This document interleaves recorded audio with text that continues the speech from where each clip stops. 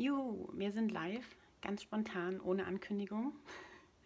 Sonntagnachmittag im Frau Hölle Studio, im Homeoffice Frau Hölle Studio. Denn ich habe da so eine spontane Idee gehabt, beziehungsweise es gibt da ja ein so ein Projekt, das unter anderem mit diesem tollen hier zu tun hat. Und das nennt sich Handlettering Countdown.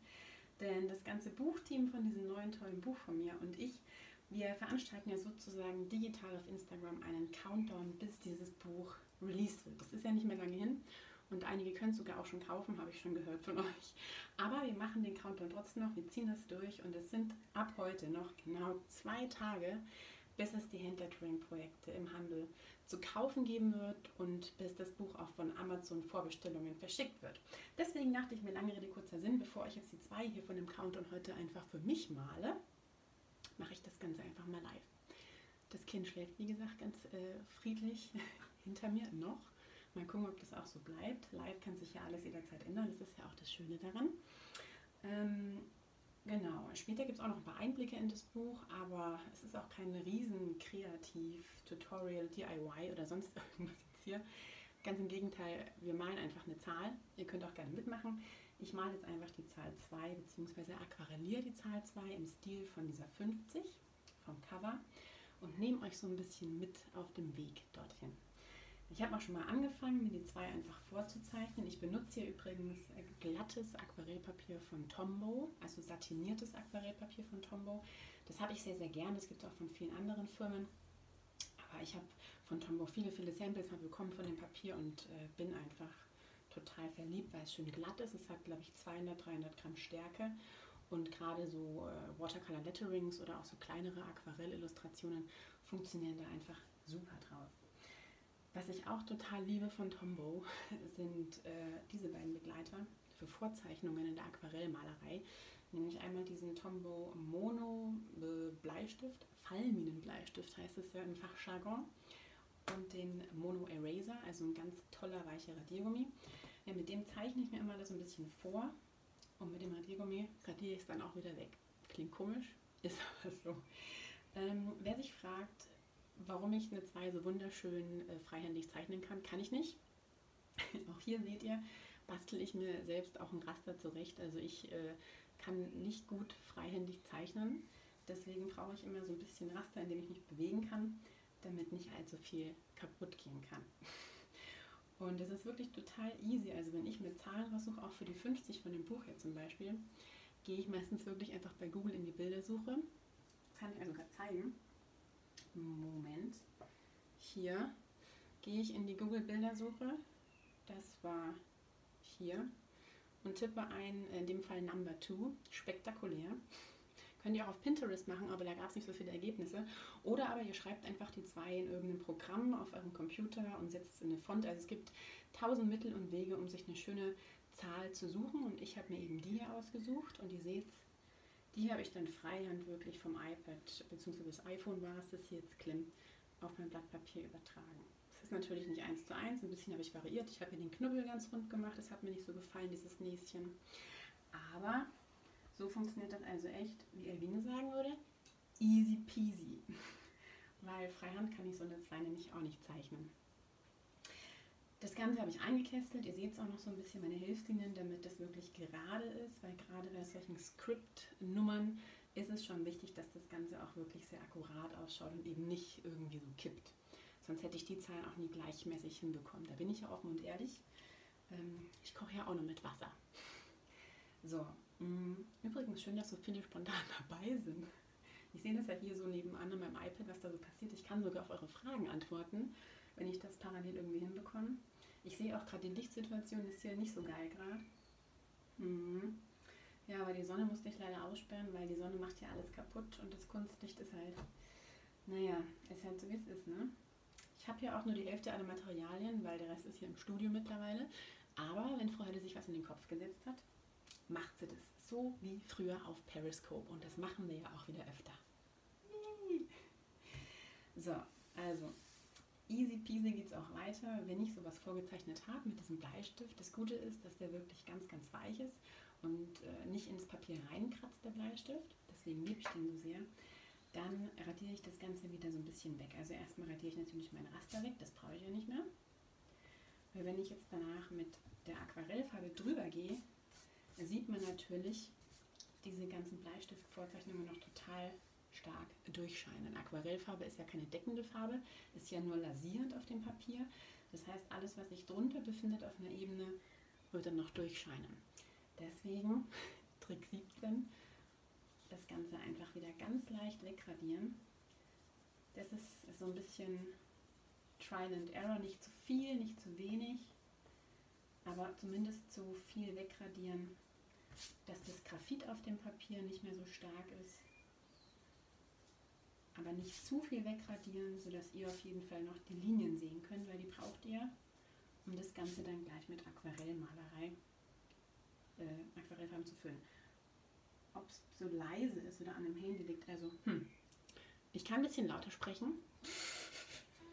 Vielleicht brauche ich noch ein Mikrofon. Also da klebt mein iPhone und da ist mein Mund. Eigentlich sollte ich nicht so leise sein. Ihr könnt ja ein bisschen aufdrehen. Volle Lautstärke. Also normalerweise, ich spreche jetzt ein bisschen leiser, weil das Baby hinter mir schläft. Aber also normalerweise spreche ich jetzt auch nicht so viel lauter. Menschenskinder hier. Macht mal einmal einen Livestream, ist mal zu leise, ne? Sachen jetzt. Ist ja aber auch eher was zum Gucken als zum Zuhören. Ihr könnt ja auch nebenbei Musik hören, ein bisschen Fußball gucken. So, also ihr seht, äh, die Kommentare sind im Weg. Ja, das ist schon ein ganz großes Problem schon immer gewesen an diesen Insta-Livestreams. Ich kann das Ganze noch ein bisschen nach oben rutschen. Man konnte früher die Kommentare mal ausschalten. Das geht aktuell, glaube ich, nicht mehr, aber pass mal auf hier. Jungs und Mädels, wahrscheinlich eher Mädels. Ich rutsche das Ganze mal noch ein Stückchen nach oben, damit ihr zumindest das Wichtige in der Mitte sehen könnt, was nicht von den Kommentaren dann hoffentlich überdeckt wird. Da muss ich ein bisschen gucken, dass ich noch hinkomme, aber gut. Kriegen wir schon hin. So besser, oder? Schwupps. So. Das kriegen wir schon alles hin. Schaut gut aus. so, jetzt sind nur meine Hände im unwichtigen Bereich und ich glaube, so können wir weiterarbeiten. Danke für euer Feedback. Ach, auf Periscope war das alles leichter. Ich sag's euch, die nächsten Livestreams äh, finden sowieso auf Periscope statt. ich komme mir einfach nicht mit diesem Insta-Dings da klar, ne? Na gut, also weiter im Text, damit wir auch noch zur Buchvorstellung kommen. Also, ähm, Ziel ist es wirklich, diese zwei jetzt in diesem Aquarellstil, ich zeige es euch mal, das habe ich da bei den Zahlen auch gemacht, von dem Cover wirklich zu füllen, aber nicht in schwarz, das habe ich mit der schwarzen Ecoline-Farbe gemacht, sondern in diesem Türkis. Deswegen liegt auch das Buch hier oben. Das ist sozusagen meine Farbreferenz. Und jetzt werde ich mal versuchen, es kann natürlich voll in die Hose gehen, aus den Farben, die ich hier zu Hause habe, und das sind nicht viele, das sind nämlich nur die Primärfarben von Ecoline, so ein Türkis anzumischen, wie es auf meinem Cover gedruckt ist. Natürlich gibt es von Ecoline wahrscheinlich exakt schon so ein Türkis. Wir haben ja alle Ecoline-Fläschchen bei uns im Studio. Zu Hause hat die Tanja aber nur fünf. Mittlerweile. Früher hatte ich alles bei mir zu Hause. Ja, auch damit muss ich nun arbeiten.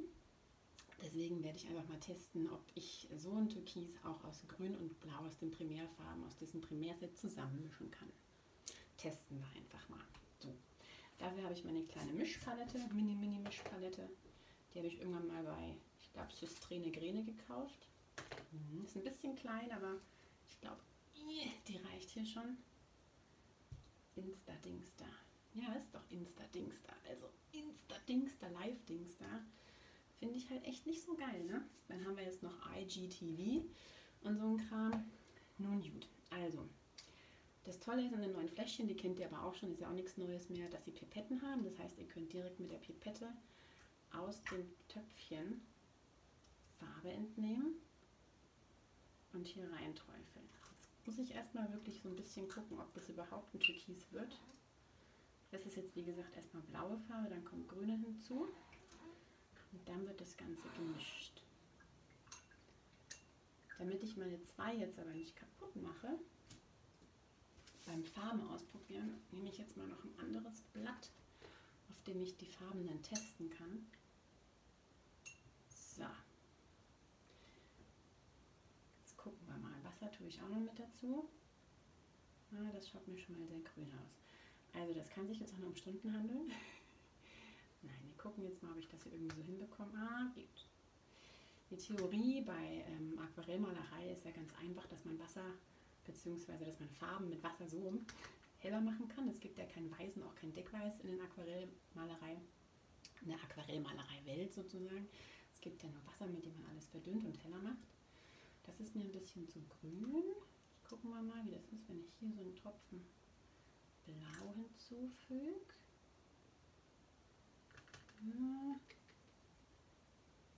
Gucken wir mal. Gucken wir mal, ob die Hölle hier irgendwie so ein Blau-Türkis hinbekommt, wie es auf dem Buch ist. Das ist auf jeden Fall, deswegen ist hier meine Farbreferenz zu Blau.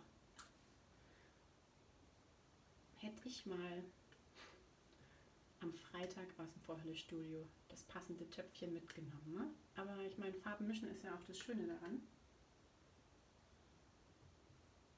Ja, das schaut doch schon besser aus, seht ihr? Seht ihr das überhaupt? So ein bisschen schon, oder? Farben mischen ist ja auch eigentlich viel schöner, als sich einfach die passende Farbe kaufen. Deswegen braucht man ja für Aquarellmalerei eigentlich auch nur drei oder fünf Primärfarben.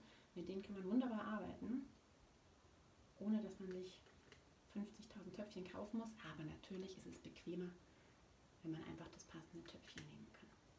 So. Also ich würde mal sagen, das zu blau, das mir noch ein Ticken zu grün, aber jetzt habe ich ja noch einmal hier so ins Blau wieder reingetippt mit der Pinselspitze. Das ist übrigens ein Da Vinci Pinsel, also synthetische Fasern, die liebe ich ja auch total, ein Rundpinsel. Und so langsam kann man das hier zusammenmischen. Immer wieder ins Wasser. Das Wasser hat schon eine sehr schöne Farbe waldmeisterlich. So, und ich würde mal sagen, jetzt sind wir aber an dem Punkt angekommen. Nochmal vergleichen hier. Referenz. Das schaut doch gut aus. Natürlich muss man eigentlich mal noch warten, bis das Ganze getrocknet ist, damit man wirklich sagen kann, ob es eins zu eins stimmt. Ich will es aber auch nur ungefähr hinbekommen. Und insofern würde ich sagen, das taugt mir auf jeden Fall schon mal für meine zwei.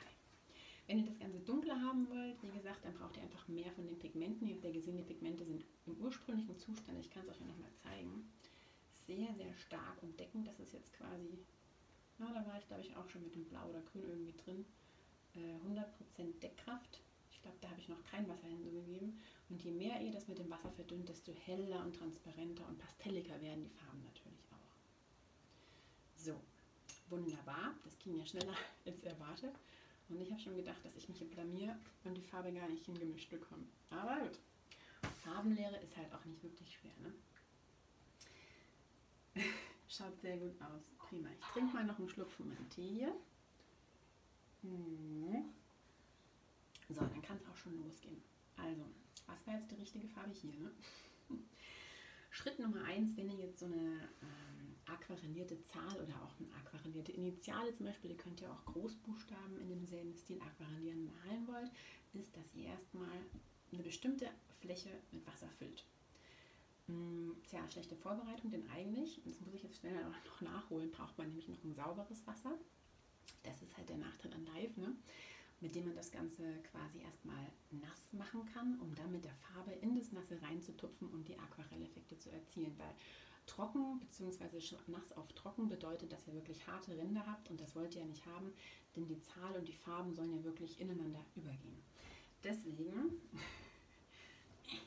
ich versuche auch ein bisschen lauter zu reden gleich. Ich hole mir jetzt noch mal kurz ein Glas saubere Farbe, es dauert nur drei Sekunden und dann geht es hier weiter.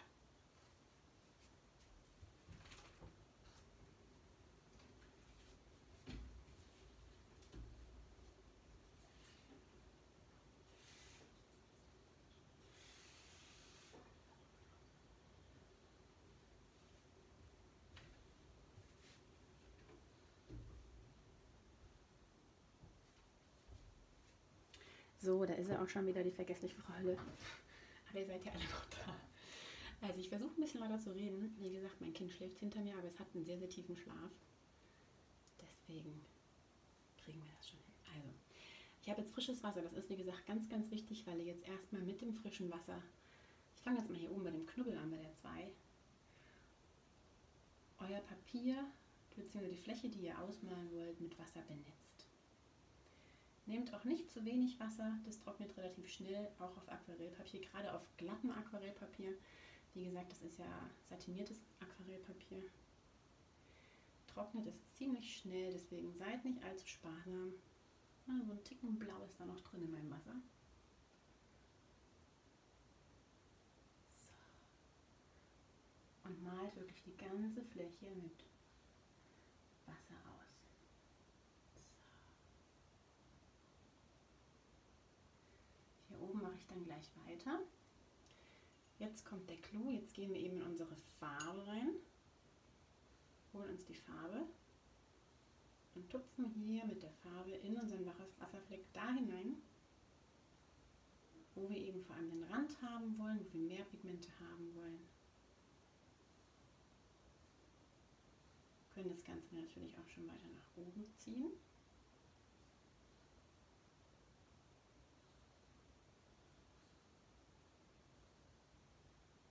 Und hier dann eben gleich weiterarbeiten. Der Trick an Watercolor Lettering und auch Watercolor Illustration, also Aquarellmalerei auf Deutsch, das klingt immer so ein bisschen abgedroschen, finde ich, aber es ist ja Aquarellmalerei, ist dem Ganzen Zeit zu geben, Zeit zum Wirken zu geben und Geduld zu haben, also nicht zu schnell mit zu vielen Pigmenten zu arbeiten, das hier sieht zwar noch scheps aus, wird sich aber wirklich total schön vermischen und seinen ganz tollen Aquarelleffekt am Ende auf dem Blatt Papier ergeben, wenn ihr geduldig genug seid. Was ich jetzt aber auch noch machen möchte, da werde ich mir jetzt mal noch ein anderes Utensil hier besorgen von meinem großen vorbereiteten Arsenal.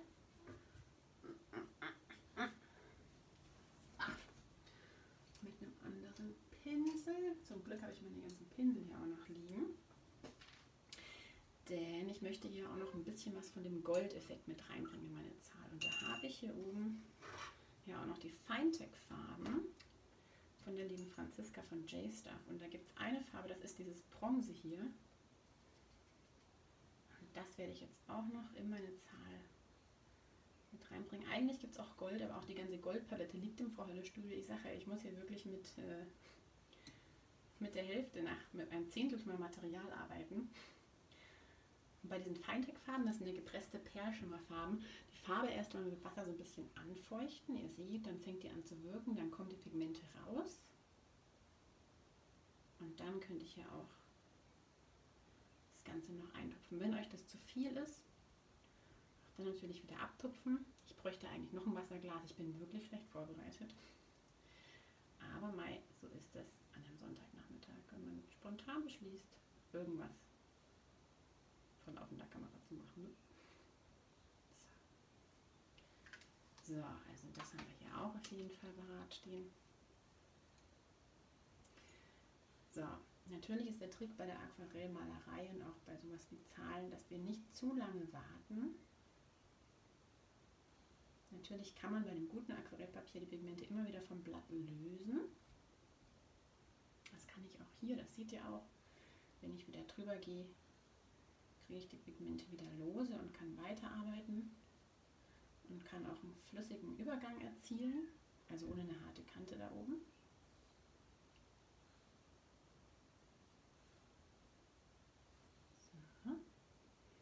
Ich habe hier echt eine fette Zweige mal, da brauche ich richtig viel Wasser, selbst mit dem Pinsel, das ist Pinselgröße 6 von Nova Synthetics Da Vinci braucht man schon.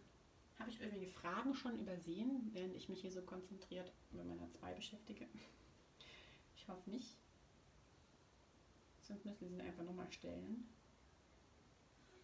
Aber das ist ja auch hier wirklich easy peasy Anfänger. Einmal eins der Aquarellmalerei. So. Nochmal das Prinzip erst alles mit Wasser füllen jetzt schon so ein bisschen Effekte. Man kann natürlich auch noch mit Wasser Effekte erzielen. Und mit Salz kann man auch noch schöne Effekte erzielen.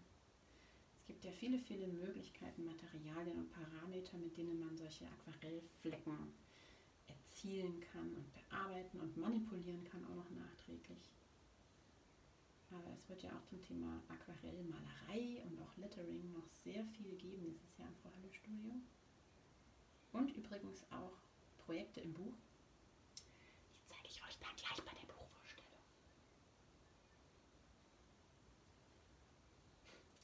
ich sehe hier winkende Kommentare und äh, Herzchen-Kommentare. Das freut mich. So.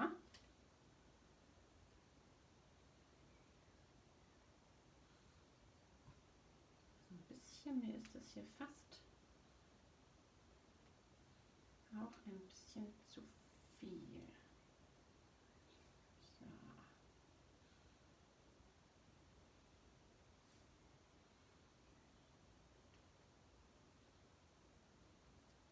Wie geht es nicht über den Rand hinaus? Ich weiß nicht, ob ich die Frage richtig verstanden habe. Also den Rand von der Zahl hier zum Beispiel, den setzt du ja selbst, indem du das Wasser nur bis zum Rand von dieser Zahl hinmalst. Dann machen wir da unten noch weiter. Ich habe jetzt wieder Wasser auf dem Pinsel, das ist jetzt auch schon ein bisschen blau, aber das ist okay. Wir bewegen uns ja zumindest in einer Farbwelt. Wenn ich jetzt hier noch irgendwie eine andere Farbe mit ins Spiel bringen würde, wäre das ein bisschen schlimmer, wenn ich jetzt hier mit dem blauen Wasser weiterarbeiten würde. Also die Aquarellfarbe, das ist auch das Tolle an der Aquarellfarbe und ich liebe sie auch, geht ja immer so weit, wie ihr mit dem Wasser das Ganze bestimmt. Wenn ihr zu viel Wasser habt, deswegen auch immer einen Zählapparat haben, so gut vorbereitet bin ich zumindest, könnt ihr das Ganze auch mal wieder wegtupfen. Ihr könnt auch übrigens hier, ein bisschen viel von dem Gold da oben, auch nachträglich wieder wegtupfen. Deswegen immer gut ausgestattet sein an einem Aquarellarbeitsplatz. Nicht wie Frau Hölle. Aber ich finde, der Charme an Live ist einfach immer, immer noch toll. Ich mag einfach Live gerne. Ihr könnt natürlich auch mal nur mit der Farbe arbeiten. Ihr seht, jetzt gehe ich hier wirklich in, komplett in die Farbe rein und male hier unten weiter. Um mal härtere Kanten zu setzen. Also da könnt ihr wirklich mit der Aquarellfarbe ganz explorativ umgehen. das ist ja auch das Schöne an Aquarellfarbe, dass sie eigentlich tut, was sie will.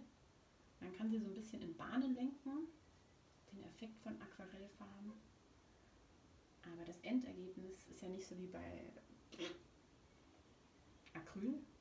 Ich habe noch nie Acrylfarbe gemalt, aber ich stelle es mir zumindest so vor, dass man sehr genau wissen muss, was man tut bei Acrylfarbe und Ölfarbe damit das Ergebnis auch so aussieht, wie man möchte. So. Wie gesagt, hier wieder alles erst mit Wasser gefüllt. Das ist Aquarellpapier, deshalb will es sich nicht. genau, schön ist auch immer, wenn dann die Leute, die zuschauen, also ihr, die Fragen der Mitzuschauer selbst beantworten, während hier der Künstler total vertieft ist in seine Arbeit. Das ist also, ich sage es nochmal, ein Aquarellpapier. Ich glaube, es hat 250 oder 300 Gramm Grammatur von Tombow, ein satiniertes, also glattes Aquarellpapier. Deswegen wählt es sich auch nicht. Es ist auch geleimt an allen vier Ecken. Auch noch eine ganz wichtige, ganz wichtige Eigenschaft von Aquarellpapier, wenn ihr eins kaufen solltet, achtet darauf, dass es geleimt ist. An allen vier Seiten am besten. Dann wälzt sich es nämlich nicht so sehr. Beziehungsweise im besten Fall gar nicht. Natürlich wälzt sich das Ganze ein bisschen. Wir arbeiten ja mit Wasser auf Papier, das heißt, da ist immer äh, ein bestimmte, bestimmter Effekt da, aber natürlich nicht so. So. So, hier unten fehlen mir noch so ein paar goldene Akzente. Also ich finde, ich habe das ganz gut getroffen hier, oder? Farbe von meinem Buch, dafür, dass ich das hier unvorbereitet zusammengemischt habe, hat das doch ganz gut funktioniert. Und ihr seht auch, diese Feintrickfarben lassen sich wirklich wunderbar in den gesamten Aquarellfleck tragen. Ich bin ja immer eher so der Fan von Pigmente eintupfen, als wirklich malen. Dann kann man so ein bisschen besser bestimmen, was sie tun beziehungsweise sie einfach werkeln lassen. Da ist noch ein bisschen viel Wasser da unten im Tal. So. Wenn das Ganze dann fertig ist, ihr seht es, dann könnt ihr nachträglich nur noch so ein bisschen einzelne Ecken verändern, indem ihr da nochmal reingeht oder mit dem Zewa-Tuch zu viel Wasser aufnehmt Einfach vorsichtig reintupfen, so eine Ecke von so einem Zebertuch. Und dann das Wasser, was zu viel ist, auftupfen. Und weiter geht's. Irgendwo habe ich gelesen, macht Lust, den Pinsel zu schwingen. Das ist das Schöne.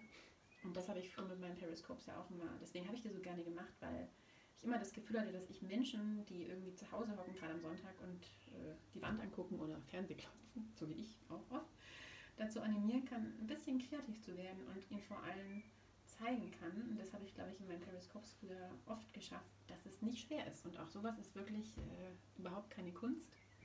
Ganz im Gegenteil, das ist easy peasy. Ach, Eline, übermorgen sehe ich sie wieder, freue ich mich schon sehr drauf. Und da braucht man keine künstlerischen Grundkenntnisse oder sonst irgendwas, um einfach mal ein bisschen kreativ zu sein. Und das macht so wahnsinnig viel Spaß.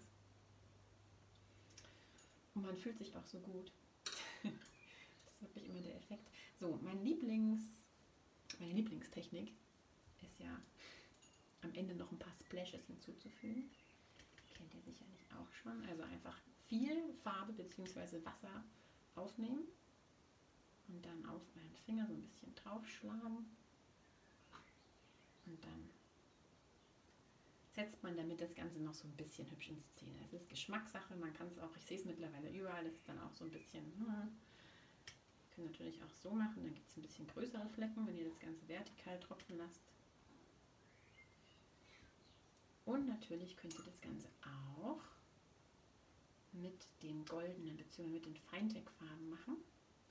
Aber dafür seht ihr das noch, ja, dann müsst ihr wirklich gut mit Wasser benetzen. Und dann könnt ihr auch hier noch ein paar güldene Punkte hinzufügen. Beziehungsweise es ist eigentlich Bronze, aber ich finde es schaut, und der Einband ist eigentlich Gold, aber das Bronze schaut aus, das Bronze von Feindeck schaut aus wie das Gold bei der Folierung von meinem Buch. finde ich. Deswegen passt das ganz gut zusammen. So, tada! Das Kind hat hinter mir schon gerade, glaube ich, gegähnt. Es hält noch gut durch. So, das war's. Mm, wie gesagt, keine Raketentechnik. Ich glaube, auch viele von euch haben das schon mal selbst gemacht. Aber ich wollte euch heute nur so ein bisschen daran teilhaben lassen, wie was wirklich einfaches, kreatives, aber schönes entstehen kann. Und wie gesagt, meine Devise ist ja immer, war es immer und wird es immer bleiben, machen, machen, machen. Habt keine Angst davor. Ich habe jetzt, was habe ich verwendet? Ich glaube, äh, zwei Ecoline-Farben, genau. Ich habe hier hellblau genommen und grün. Daraus habe ich mir eben so ein Türkis gemischt. Und dann noch die Feindeck-Farbe, Wasserpinsel, fertig, Zebra, Aquarellblock. Mehr braucht ihr nicht, um einfach mal ein bisschen euch auszutoben. Einfach, aber oh, genau, liebe Martina. So, und jetzt kommt der zweite Teil dieses phänomenalen, kreativen, unvorbereiteten Livestreams. Deswegen mache ich jetzt mal ein bisschen Platz und räume mal die Sachen weg, die zumindest äh, Wasser beinhalten, damit sie nicht gleich alles zerstört wird. So viele Exemplare habe ich ja noch nicht von meinem neuen Buch. Denn was ich ja eigentlich zeigen wollte und sagen wollte, dass es nur noch zwei Tage sind, bis dieses Buch da hinten in den Handel kommt. So, jetzt schieben wir mal die zwei ein bisschen hier aus dem Bereich raus. Ah, eine Frage habe ich vorher noch gelesen, stimmt, die wollte ich beantworten, wie man das Ganze dann ablösen kann, wenn das an allen vier Seiten geleimt ist. Also, das ist natürlich an allen vier Seiten geleimt, aber es gibt immer eine Seite bzw. eine Ecke bei diesen Blöcken, die nicht angeleimt ist. Oft ist das hier in der Mitte so ein Bereich oder eben eine Seite, eine Ecke. Das heißt, ihr könnt dann ganz vorsichtig die Seite abziehen. Was ich euch aber empfehle ist, und ich glaube, das Werkzeug ist auch im Studio. Hm, ja, ein sogenanntes Falzbeil. Würde auch ein Cutter gehen oder ein Messer. Ihr könnt es auch mit einem Messer machen eigentlich. Also mit einem normalen, äh, nicht scharfen Küchenmesser, einem normalen Buttermesser. Geht also wirklich rein unter die eine abgelöste Seite und farbt mit dem Messer vorsichtig drumherum. Dann könnt ihr diese Klebekante ganz einfach auflösen und macht aber das Papier nicht dabei kaputt. Kann nämlich passieren, wenn ihr das Ganze einfach abreißt dass es dann auch wirklich reißt, das Papier. So, zwei schiebt man noch ein bisschen nach oben. Brieföffner geht auch, genau. Oder Lineal. Ach, ihr habt ja noch viel bessere Ideen als ich. Wer braucht schon ein Falzbeil? Ja, ich habe das damals gelernt mit einem Falzbeil, aber mein Gott, die Geschäfte müssen ja auch irgendwie ihre Materialien verkaufen. Ne? So, ihr Lieben, zwei Tage noch. Das haben wir echt hier gut getroffen, ne? Bin ganz glücklich. Zwei Tage noch, bis dieses Buch wirklich für alle verfügbar ist, im Handel erscheint. Ihr könnt es im Frau Holle Online-Shop ja auch schon vorbestellen, auch mit einer persönlichen Widmung für den oder die Liebste oder als Geburtstagsgeschenk für jemanden. Oder, oder, oder. Einige haben es auch schon bekommen. Ich glaube, in den Idee-Kreativläden äh, wurde es schon gesichtet und in einigen Künstlerbedarfsläden auch. Und alle anderen bekommen es bestimmt auch bald geschickt. Wir haben auch schon eine Nachbestellung beordert. Das heißt, der Frau Hölle Online-Shop kann dann auch ganz bald die Vorbestellungen ausliefern. Und ich werde übermorgen ins Büro fahren und auch dann fleißig eure Widmungen schreien. Schreien? Schreiben. Schreien werde ich sie nicht. Also, worum geht es in Handlettering-Projekte? Handlettering-Projekte ist ja sozusagen wirklich die Ergänzung zu dem ersten Buch von mir, nämlich andere Farbkombination, aber ähnliches Design, ihr seht. Handlettering-Alphabete. In Handlettering-Alphabete, da ging es ja wirklich darum, euch, den Lesern, den Käufern, die Grundlagen aller Lettering-Arten beizubringen. Handlettering-Alphabete enthält ja verschiedene Kapitel des Letterings. Handlettering, Brush Lettering, Kalligrafie und auch einen kleinen Teil Digital Lettering. Und mein Ziel war es wirklich mit dem Buch umfassend äh, darzustellen und zu zeigen, wie man in die Welt des Letterings einsteigen kann als Anfänger. Das heißt, das erste Buch, finde ich, ist so eine Art Lexikon für alle Lettering-Schriftarten und auch Techniken. Sind auch wirklich ganz, ganz viele Alphabete zum Abhausen enthalten. Und das zweite Buch ist sozusagen die Ergänzung, die wir gemacht haben zu dem ersten Buch.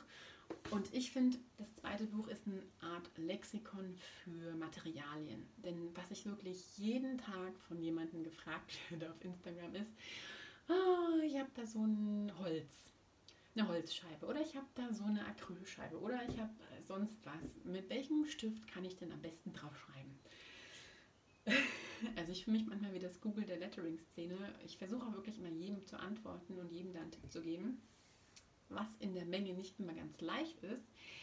Und so ist auch die Idee zu diesem Buch entstanden, da wirklich ein Grundlagenwerk nochmal zu schaffen, wo wir alle Materialien mit aufgenommen haben, die es eigentlich so gibt, beziehungsweise die sich belettern lassen. Es lassen sich ja wirklich auch nicht alle belettern und euch da entsprechende Empfehlungen zu geben. So, jetzt schlagen wir das Ganze mal auf gemeinsam.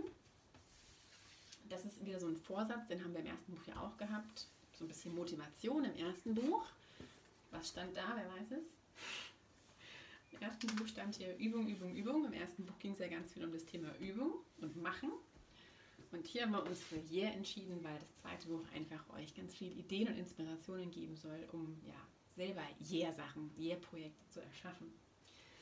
Hier vorne übrigens äh, der erste Bogen zum Abpausen. Wir haben hier wirklich für alle Projekte, alle 50 Projektideen teilweise die Vorlagen in Originalgröße. Ich glaube, in den meisten Fällen ist es die Originalgröße auf den Bogen draufgepackt. Die Vorlage für den Fußvorleger, für den, die Fußmatte, die war leider zu groß. Das weiß ich, die mussten wir skalieren. Aber der Rest ist, glaube ich, wirklich eins zu eins hier auf den zwei Postern enthalten. Die könnt ihr euch natürlich auch wieder irgendwie an die Wand hängen. Viele haben ja die Poster, die Poster aus dem ersten Buch mit den Alphabeten an die Wand gehängt, so als Deko. Fand ich auch total süß.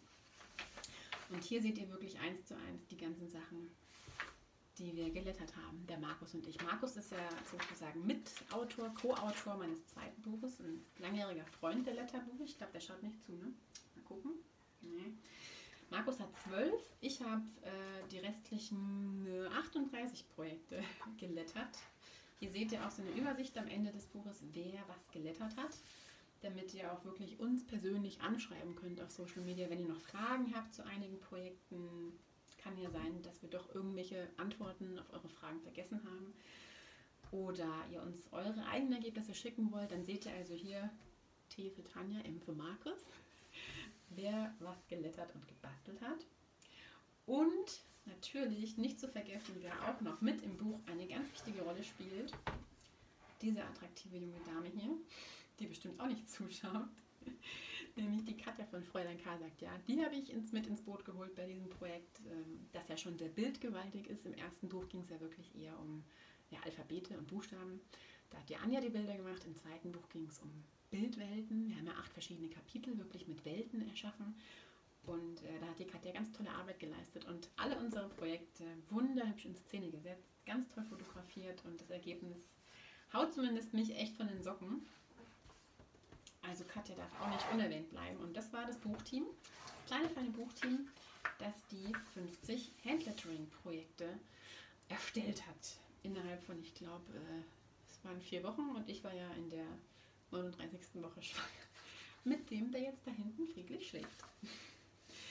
ähm, ja, hier seht ihr die Übersicht der verschiedenen Kapitel. 18 ist wie gesagt an der Zahl von, äh, hier drüben fangen wir an, von Küche, Interior, Papeterie ist natürlich auch wieder mit dabei. Das heißt, hier im Papeterie-Kapitel findet ihr, ich würde mal sagen, eher die einfacheren Projekte, die sich viel mit oder um Bücher bzw. um Papier drehen.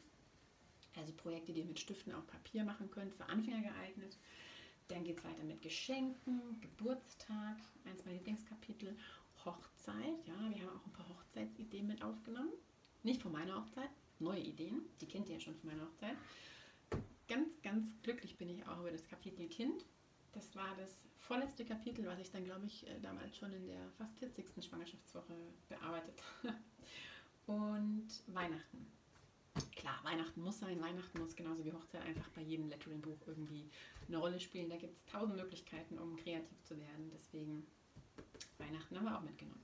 Ja, und dann gibt es auch natürlich wieder ein kleines, kurzes Vorwort von mir, für euch, für die Leser. Das müsst ihr selber lesen, wenn ihr das Buch kauft. Dann geht es weiter mit einem ganz kurzen Einstieg in die Grundlagen. Hier haben wir nochmal zusammengefasst, so ich würde mal sagen, das Wichtigste aus dem Handlettering-Alphabetebuch. Auch Übersichten über die verschiedenen Lettering-Arten. Es werden alle Lettering-Arten bis auf Kalligrafie zum Federhalter habe ich nicht gegriffen bei den Projekten. Einfach aus dem Grund, dass man Kalligrafie fast nur auf Papier machen kann und es in dem, Buch, in dem Buch ja vor allem um andere Materialien als Papier geht. Aber ansonsten sind alle Lettering-Stile enthalten. Hm, gebrochene Schrift auch nicht. Da haben wir uns auch dagegen entschieden. Hatten wir erst ein Projekt, ist dann aber auch rausgefallen. Aber ihr seht hier nochmal alle möglichen Brush- bzw. Hand-Lettering-Varianten, damit hier auch wirklich jemand, der das erste Buch vielleicht nicht besitzt, so ein bisschen was mit anfangen kann. Hier nochmal die Erklärung der Liniensysteme. Also ich würde mal sagen, Anfänger ähm, sollten sich das erste Buch auf jeden Fall besorgen, um fit zu werden im Handgelenk, was das Lettering betrifft. Aber man kann auch mit den Vorlagen, die hier enthalten sind, die Lettering-Projekte ganz, ganz leicht selber machen. Also habt da wirklich keine Angst. Das Buch ist so ausgelegt, dass es der blutigste Anfänger machen und nutzen kann. Das ist mir ganz wichtig gewesen. So, und dann geht es auch schon weiter mit einem sehr wichtigen kurzen Kapitel, nämlich die Projektanleitung haben wir es genannt. Das heißt, hier wird beschrieben, wie ihr die Projektvorlagen auf den Bögen auf die Materialienoberflächen kopieren bzw. übertragen könnt. Es gibt ja auch verschiedene Möglichkeiten für verschiedene Oberflächen, je nachdem, ob es eine schwarze, eine weiße, eine transparente Oberfläche ist. Haben wir hier beschrieben, wie das Ganze übertragen wird, beziehungsweise auch, wie ihr Vorlagen überhaupt erstellen könnt. Es gibt ja tausend und eins Möglichkeiten, wie ein Letterer eine Vorlage erstellt, auch vom Aufbau mit dem Raster. Und ich habe hier, hab hier den Bereich analog beschrieben, wie ich also analog meine Vorlagen erstellt habe für das Buch. Und der Markus hat hier drüben beschrieben, wie er das Ganze digital macht, nämlich auf seinem iPad Pro. Das ist auch das Schöne daran, wenn man so einen Co-Autor hat, dass er nochmal einen anderen Wind einfach reinbringt ins Buch. Und äh, deswegen freue ich mich da doppelt und dreifach drüber, Markus für das Buch gewonnen zu haben, weil er eben digital arbeitet, viel digital arbeitet und die Vorlagen digital erstellt hat, die meisten zumindest. Und euch das einfach eine andere Möglichkeit nochmal gibt, ausprobieren, was taugt euch, wenn ihr ein iPad besitzt. Aber ich werde immer so der analoge Typ bleiben. Ich liebe es einfach zu kritzeln und zu radieren und wegzuschmeißen. Und ah, wenn ich das nicht fühlen kann, dann geht mir echt was verloren. So, hier wie gesagt nochmal das How-To, wie ihr das Ganze übertragen könnt. Und finde ich ja eigentlich die wichtigste Seite von allen. Das ist jetzt sozusagen das, die Kernseite dieses Lexikons, was ich vorhin gesagt hatte. Hier findet ihr die Antworten auf alle eure Fragen. 42? Nein. Spaß beiseite. Hier findet ihr Übersicht, eine Übersicht darüber, mit welchen Stiften bzw. Werkzeugen, können ja auch Pinsel sein und Farben, Töpfe, ihr auf welchen Materialien malen und littern könnt. Also hier am besten schon mal ein Eselsohr reinmachen, da könnt ihr immer wieder darauf zurückgreifen. Den Livestream stelle ich auch noch erstens in meine Story und zweitens auf IGTV. Zumindest war so der Plan. Boah, der Backbube ist da. Hallo! Aber eigentlich müsste der Letterbuch doch da sein, Markus.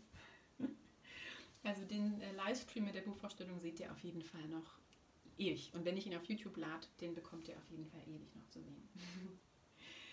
so, ihr Lieben, oh, alle haben entdeckt, dass der Letterbuch da ist. Jetzt will ich euch nur so ein paar Einblicke mal geben in die verschiedenen Kapitel. Es sind wie gesagt acht Kapitel an der Zahl. Es beginnt mit Küche, es endet mit Weihnachten. In jedem Kapitel sind, glaube ich, sechs bis sieben verschiedene Projekte enthalten. Und äh, Punkt. Und die Projekte sind immer so aufgebaut, das vielleicht nochmal ganz kurz zur Übersicht. Alle Projekte sind so wie im ersten Buch aufgebaut, dass ihr ein großes Bild habt der Projekte, eben dieses wunderschöne Bild, was Katja immer gemacht hat, und dann eine Materialübersicht hier an der Kante für alles, was ihr braucht. Hier ganz wichtig, das wollte ich auch unbedingt dabei haben, da hatte ich euch ja sogar während der Erstellungszeit des Buches noch gefragt, ob das sinnvoll ist, eine Angabe über den Schwierigkeitsgrad. Und zwar ist es von 1 bis 3, das heißt ein Stiftchen heißt easy peasy, für absolute Anfänger geeignet, äh, Erfolg garantiert. Drei Stifte heißt eher so, naja, man sollte zumindest schon mal selber was gelettert haben. Oder man braucht äh, entsprechend aufwendig oder viel Material. Das kann auch drei Sternchen bzw. drei äh, Stiftchen bedeuten. Ja, und dann ist hier noch ein bisschen eine Intro, um den Leser so ein bisschen emotional einzufangen, das Projekt. Ne? Und dann wird das hier einfach beschrieben. Kurz und knapp, Schritt für Schritt, damit das auch wirklich jeder nachmachen kann. Wir haben versucht, es so einfach möglich zu formulieren. Also es ist auch nicht irgendwie total äh, schwierig getextet, sondern so, dass ihr es lesen und nachmachen könnt. Wie so ein ganz einfaches Rezeptebuch. Wichtig auch, als letztes letzter Bestandteil so einer Projektseite immer noch Tipps und Tricks. Die gibt es auch wirklich überall an jeder Seite. Hier sind sie auf der Seite enthalten. Das zweite Projekt in der Kategorie Küche beinhaltet nämlich zwei verschiedene Gläser. Das heißt, es ist ein zwei doppelseitiges Projekt. Und dann habt ihr hier die Tipps und Tricks. Bei Tipps und Tricks war es Markus und mir ganz wichtig, nochmal so ein bisschen unsere, mm, ich sag mal, Expertenmeinung zu dem Projekt mit abzugeben. Also wenn irgendwas besonders schwierig ist, besonders einfach ist, wenn wir mit Dingen gekämpft haben, mit denen ihr nicht mehr kämpfen müsst, dann findet ihr das auch bei den Tipps und Tricks. Also es sind meistens nochmal so ein paar Kniffe, die euch das Leben leichter machen. Sagen wir es mal so. Ja, ihr könnt auch bald starten, Projekte nachzumachen, liebe Kathleen. Es ist ja wirklich bald im Handel erhältlich und ich glaube, Amazon verschickt es auch schon morgen, sodass ihr es am Dienstag dann, glaube ich, auch schon zu Hause habt. Also wir sind immer noch in Küche unterwegs und ich führe euch jetzt einfach mal so ein bisschen durch. Dann haben wir hier noch ein Projekt, was auf einer Tafelfolie entstanden ist. Das ist eins meiner Lieblingsprojekte von Markus. Großartig gelettert hier auf eine Thermoskanne. Leider geil, Markus. Die hätte ich übrigens gerne, aber die wollte er wieder haben. Und auch ein Projekt von Markus, Salz- und Pfefferstreuer aus Porzellan. Sehr, sehr coole, interessante Technik sogenannter Holzlook, der sich, äh, den sich der Markus da überlegt hat.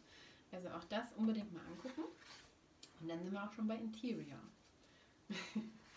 Interior, ihr seht es, auch hier hat die gerade eine wunderschöne, gemütliche Home Sweet Home Welt erschaffen in ihrem Studio, das wir besucht hatten, das Buchteam. Es beginnt mit einem Projekt von mir. Ihr seht hier so eine Glaskaraffe. Das ist wirklich eines der leichten Projekte.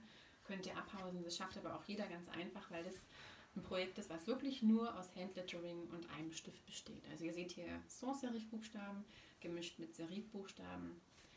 Super easy, super einfach und einfach eine schöne Möglichkeit, um so ein Deko-Objekt wie eine Vase oder eine Glaskaraffe zu verzieren. Mit einem Spruch. In Vino Veritas. Geht immer, dachten wir. Dann haben wir hier noch eine Handyhülle, auch im Bereich Home and Interior, auch oh, eigentlich sind alles meine Lieblingsprojekte. Und natürlich darf auch Toto nicht fehlen in dem Buch. Er hat ja auch eine große Rolle gespielt in meinem ersten Buch. Da war er noch äh, sozusagen das Baby, was ich nicht in mir getragen habe, aber was ich noch neben mir liegen hatte bei der Buchentstehung.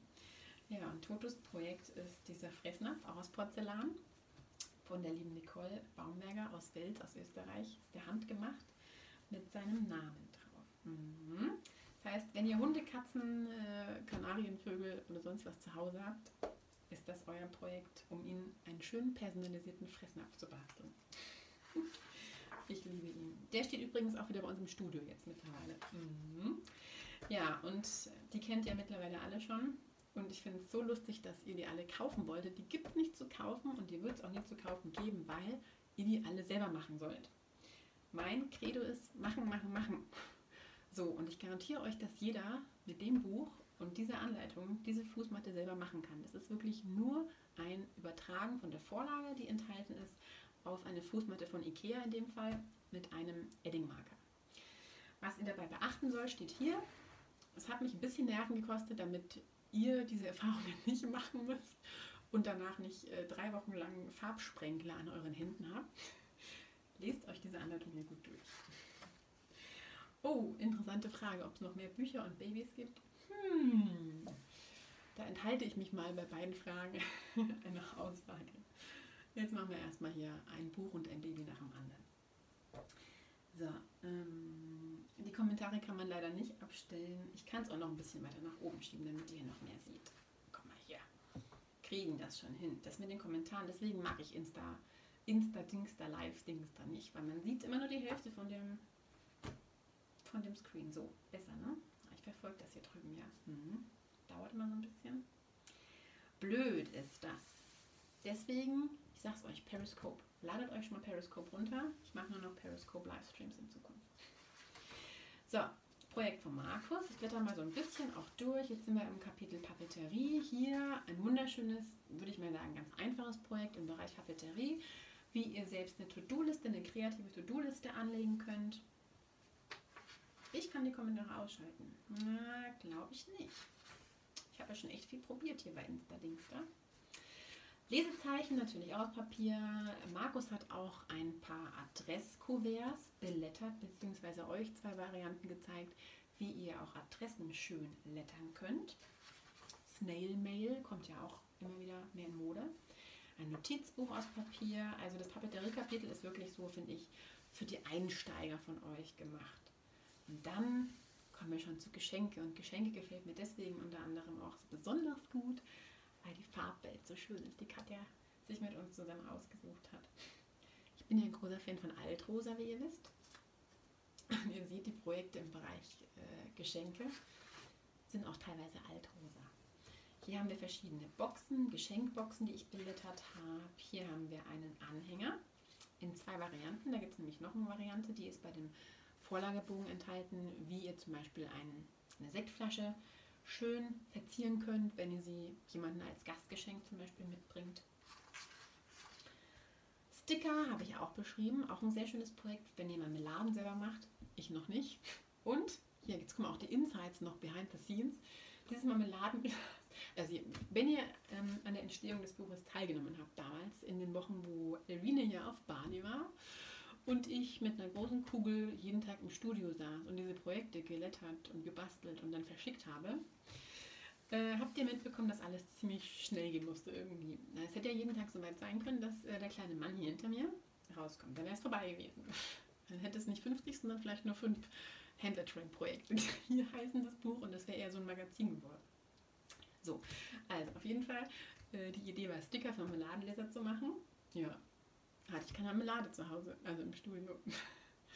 Und nachdem ich irgendwie eine halbe Stunde Zeit hatte, dass ich noch zur Post äh, hätte gehen können, um das zu Katja zu schicken, habe ich im Kühlschrank geschaut und da stand ein Marmeladenglas, dieses hier. Und da war Marmelade drin von Evines Mama. Die hat nämlich, ich glaube, es war, ich weiß gar nicht, Erdbeermarmelade selber gemacht und uns geschenkt. Ja, liebe Elvina, aber sie weiß es schon, ich habe dir schon gebeichtet.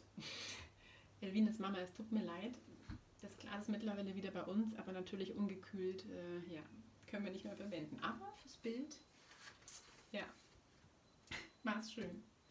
So, und dann noch was ganz Besonderes, ein absolutes Highlight in diesem Buch. Ich habe ja nicht nur den Letterbuben mit ins Boot geholt, sondern auch den Backbuben. Und der Backbube hat nämlich diese Kekse nicht nur belettert mit dieser transparenten Folie, sondern auch gebacken und deswegen hier als besonderes Feature das Rezept für diese Cookies, diese marmorierten Cookies übrigens, mega geil, grau marmoriert, der Oberhammer von Markus. Das Rezept für die Cookies ist auch in dem Buch enthalten. Hm. Ein absolutes Special, ne Markus? Wer Fragen hat, bitte nicht mich fragen. Frag bitte den Letterbube bzw. Backbube. Ich habe von Backen keine Ahnung. So, Halbzeit, glaube ich. Geburtstag, auch ein schönes bildgewaltiges Kapitel. verschiedene Cake-Topper, verschiedene Möglichkeiten, wie ihr Glückwünsche überbringen könnt. Hier zum Beispiel ein Folienballon oder auch die gute alte Lightbox. Viele Projekte haben einige von euch vielleicht auch schon mal selbst gemacht. Es ist wie gesagt ja auch nur ein Sammelsurium aus, würde ich mal sagen, meinen letzten drei Jahren Lettering-Zeit, das ich zusammengetragen habe und eben jetzt als Buch veröffentlicht habe. Deswegen sind nicht alle Projekte wahnsinnig weltbewegend neu. Aber wer es noch nicht kennt, ist es eine super einfache, schöne Möglichkeit, in solchen gekauften Lightboxen ein eigenes Lettering einzubauen. Also wirklich, da braucht ihr nicht viel Material, ihr seht es hier drüben, um das ein bisschen pimpen zu können. Für die nächste Geburtstagsfeier zum Beispiel. so, und dann, oh ja, was das Buch auch noch besonders macht, ist, dass ich nicht nur Gastautoren, also Co-Autoren, mit ins Boot geholt habe, nämlich den Markus und äh, Katja als Fotografin, sondern sozusagen auch mh, mm, Ideengeber. Und es gibt hier bei dieser Oralkarte, das ist quasi ein Projekt, was mit Folierung arbeitet, mit zwei Varianten der Folierung, einen mh, mm, Ideenhaber, nämlich die Frau Mesas, die auf ihrem Blog sehr, sehr schön beschrieben hat, wie sie eine Karte foliert. Und genau das habe ich übertragen. Ich habe sie auch gefragt, ob ich es benutzen und im Buch verwenden darf. Es ist auch mit angegeben, das ist mir immer ganz wichtig. Und deswegen findet ihr in diesem Buch auch nochmal beschrieben, die Variante einer folierten, komplett folierten Karte mit Laserdrucker und Laminiergerät. Also da habe ich ja gekreischt, als es zum ersten Mal funktioniert hat und ich bin Frau Mesers auch wirklich super dankbar für ihr Tutorial. Also vielen Dank an der Stelle, dass ich das auch ins Buch mit einbauen durfte. Und ich habe hier wirklich auch meine ganzen Fehler beschrieben, was ihr beachten müsst, damit ihr eine Karte so cool folieren könnt, und ähm, ja, ich bin gespannt auf eure Varianten davon. So, dann noch ein kleines Lettering-Projekt von Markus für das Kapitel Geburtstag. Auch von Markus kleine Konfettitütchen. Das ist auch ein einfaches Projekt, also wirklich für Anfänger absolut zu empfehlen. Auch mit Folierung übrigens. Und dann sind wir schon bei dem wunderschönen gelben, grünen Kapitel Hochzeit.